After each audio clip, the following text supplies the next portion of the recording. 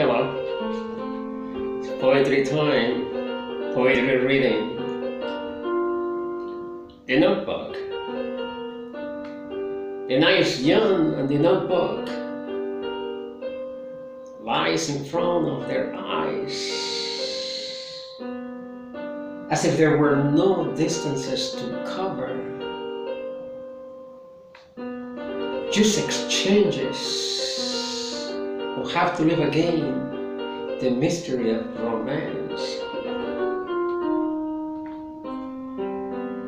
The notebook has captured their night and stopped the clocks to move forward and to indulge in the unthinkable thoughts.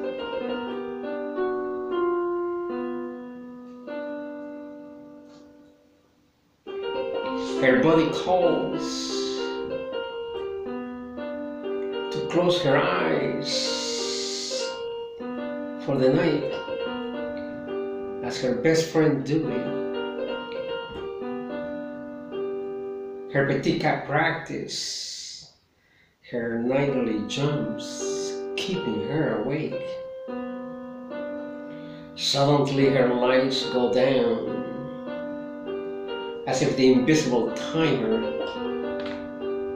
of her half cup is now full of ecstasy. And tomorrow's awake to be consumed with the thoughts of the night before.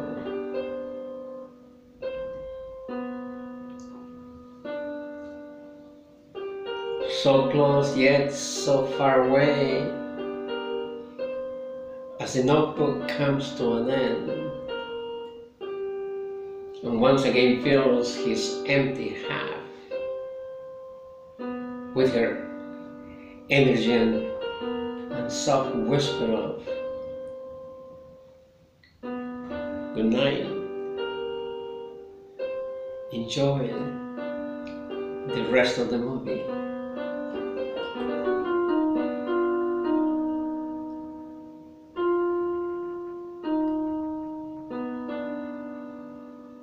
Good.